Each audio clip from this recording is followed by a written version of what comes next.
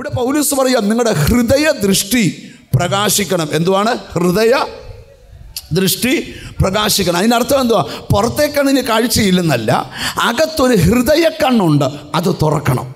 ഒരിക്കൽ ദൈവത്തിന് സ്തോത്രം. എലിശ പ്രവാചകന്റെ കാലത്ത് നടന്ന ഒരു സംഭവം. പ്രസംഗിക്കാൻ അമ്മ വാക്യമൊന്നും വായിക്കാതെ ഞാൻ പറന്നു പോകാം അരാം രാജാവ് ഇസ്രായേലിനോട് യുദ്ധമുണ്ടായി.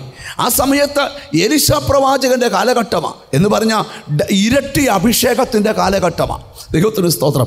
അരാം രാജാവ് കൊട്ടാരത്തിൽ പറഞ്ഞു ഇന്ന് നമുക്ക് സ്തോത്രം. അമ്മ ഇസ്രായേലിനെ ആക്രമിക്കാനായിട്ട് തിരുവല്ലയിൽ നിന്ന് പ്രസംഗിക്കുവാന്ന് ഞാൻ പറയാം. ദൈവത്തിന് സ്തോത്രം. ചെങ്ങന്നൂർ റൂട്ടിൽ കൂടെ വരണമെന്ന് പറഞ്ഞു. സ്തോത്രം.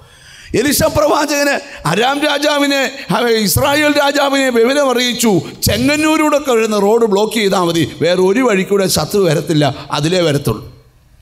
അരാം സൈന്യം വന്നപ്പം ചെങ്ങന്നൂർ തിരുവല്ല റോഡ് അമ്മ ദൈവത്തിന് സ്തോത്രം ഇസ്രായേൽ സൈന്യം നിരന്ന് നിൽക്കുക. രാജാവ് തിരിച്ചുപോയി. പിറ്റേന്ന് തീരുമാനിച്ചു. എന്നാൽ കോഴഞ്ചേരി റോഡിൽ കൂടെ വരാമെന്ന് വിചാരിച്ചു. അന്ന് രാത്രി പ്രവാചകൻ പറഞ്ഞു കോഴഞ്ചേരി റൂട്ട് ബ്ലോക്ക് ബ്ലോക്ക് ചെയ്തേക്കണം. അതിലേക്കൂടെ കൂടെ വരുന്നത് ശത്രു. സ്തോത്രം. രാവിലെ അവർ യുദ്ധത്തിന് ചെന്നപ്പോൾ അവിടെ ശ്ര രാജാവ് കോപിച്ച് കൊട്ടാരത്തിൽ വന്നിട്ട് പറഞ്ഞു നമ്മുടെ ഇടയിൽ ഏതോ ചാരന്മാരുണ്ട്. അപ്പം ഒരു മനുഷ്യൻ പറഞ്ഞു രാജാവേ ഇത് ചാരപ്പണിയൊന്നുമല്ല ആമി അവിടെ ഒരു പ്രവാചകനുണ്ട്. നീ എന്തോ ഇവിടെ പറയുന്നോ അത് ക്യാമറ കണ്ണിൽ ഒപ്പിയെടുക്കുന്ന പോലെ അവൻ അവിടെ വെളിപ്പെട്ടു വരും. സ്തോത്രം. അമ്മ രാജാവ് പറഞ്ഞു അങ്ങനെ അമ്മ ഒരു കാര്യം ചെയ്യുക യുദ്ധം ഒരു ദിവസത്തേക്ക് നിർത്ത്. ഈ വെളിപ്പാട് പിടിക്കുന്നവനെ ആദ്യം ബന്ധിക്ക്. രാവിലെ എഴുന്നേറ്റപ്പോൾ ശത്രു സൈന്യം മുഴുവനും കൂടെ വന്ന് ഏലിഷായുടെ വീടിനെ വളഞ്ഞു. എലിഷായുടെ ഒരു ശിഷ്യൻ രാവിലെ കണ്ണ് തിരുമി. ഒരു കൈ കണ്ണ് തിരുമി മറ്റേ കൈ കട്ടൻ കാപ്പിയും പിടിച്ചോണ്ട് വീടിന്റെ മുറ്റത്തിറങ്ങിയപ്പോൾ ശത്രുക്കളെ കൊണ്ട് മുറ്റം നിറഞ്ഞിരിക്കുന്നു.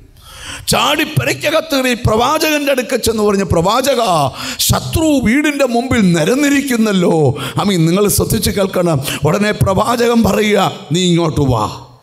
എന്നിട്ട് ഇവന്റെ തലേ കൈവച്ച് പ്രാർത്ഥിച്ച് കർത്താവേ ദൈവത്തിന്റെ സൈന്യത്തെ കാണാൻ ഇവന്റെ കണ്ണുകളെ തുറക്കണേ.